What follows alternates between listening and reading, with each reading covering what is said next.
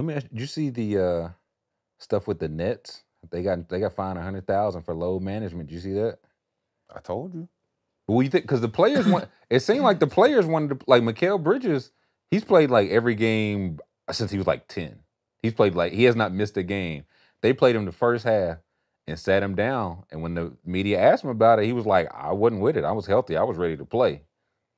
So what do you make of that? Because it seemed like the, some of these players want to go. Yeah, that's cool, but it's it's not them though. It's the star players who need the load management. That's where all that shit come into play.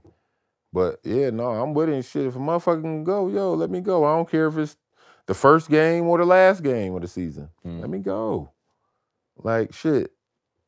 What's it gonna hurt? Now, again, you can go with the same load management for the end of the season, like I was telling you uh, previous. Mhm. The first, like you could have played Kells the first five minutes. Right. He could have played the first five minutes of the third quarter. Of each half or something, yeah.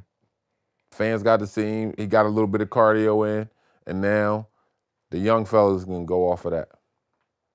So do you agree with the NBA fining teams for that? Because they got hit. I think it's It's contradictive why. because they, you know, we all know it's what it's for. It's for the money games. Of course. You know what I'm saying? If it's that game, if it probably wasn't a TV game, he wouldn't have got fined. Mm. I'm pretty sure of it. I think it's yeah, 100 for the first offense. I think it's 200 or 250 hmm for the next one. But I think I feel like it's only money fines. And if you're gonna fine a billionaire only money, then they're gonna be able to pay. You know what I'm saying? Are you really trying to deter the behavior? That's that's what it is. But no, the biggest question is where the fuck does that fine money go? That's a great. que- Where That's- does it go? Man, that's like that's always been the golden question. Even when I was playing. We need to get to the bottom of that. Man, it- Call David Stern.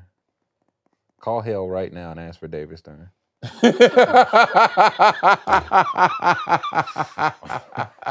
Call him. No. yeah,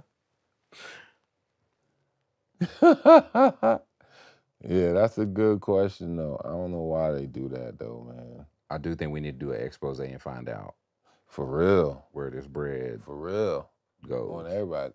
Look, call call some past people who might have worked in the NBA offices. Hey, yo, where this fine money go? hmm Well, let me sit back and tell you that Y'all put a guest room on Adam Silver's house. That's where y'all. That's where y'all. Y'all put a new boat and uh, David Stern's of- dock. Man, what? Bought probably bought him a new crib, this and that. Especially me. Shit. Yeah, I'm, what was the technical fine uh, when you play?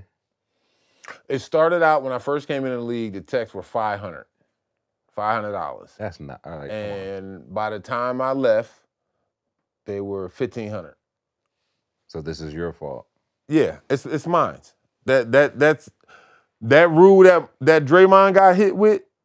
This is well, not this past time with him um, elbowing the dude, but a previous time when he got suspended for his Mhm. text. That's my rule. It was like 15 or 16. 16. 16. Oh, you know it exactly. I bet yeah, you do. It's 16. It's it's my rule. It's the Sheed Wallace rule.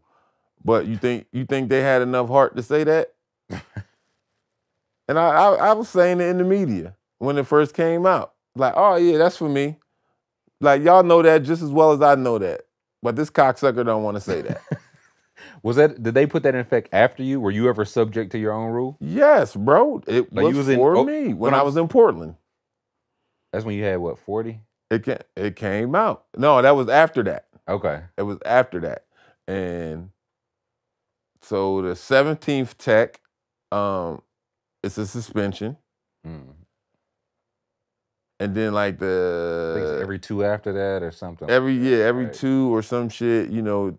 But now the way it is, the they increase throughout the season. Right. So like when I first came in, it was 500 all season. 500. Yeah, the They were season. basically begging you to get a technical foul. Oh, it pretty much. That that's why you know they had they cheating ass refs call all the bullshit. But it started out like I think it was like from one to six was like fifteen hundred. From seven to Mm. ten or seven to eleven was like twenty five hundred. And then you know as it went up, then uh, of course the ultimate fine was the suspension. Then when you get suspended, that's one eighty second of your paycheck. They were still encouraging y'all to get. Yeah. Yeah, that's why they sent they they bullies out there, dog. telling you, What bullies? them refs. Them refs. They was It's all, bullying. it's all it, it- it's almost making me think and making me want to do some homework. Did he tell them motherfuckers to do it? Was he part of it? Was who? Stern, was he part of it? Can you put it past him? I can't put it past him. Ain't no telling from from what I seen and heard about the referees previous. I wouldn't put it past him. But it's you not I know one thing you're not gonna fucking tell me that one dude gonna bring down a billion dollar company. Right. Fuck out of here. But a lot of those referees, well, not a lot of them. Some of them still refing, Mm. but a lot of them just up and all of a sudden quit and retire from the NBA. I seen two refs are collegiate refs. Mm. You got your homie Steve Javie on fucking ESPN. My boy. Yeah, your homie. A couple of other refs, you know.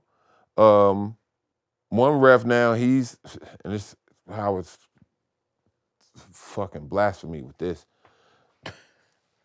This guy is the head of the NBA officials, and you was one of the cheating refs. Who better to teach the new class, the new generation? Who better? Who, who better to to uphold the tradition? I, I I can't call it, bro. I can't call it.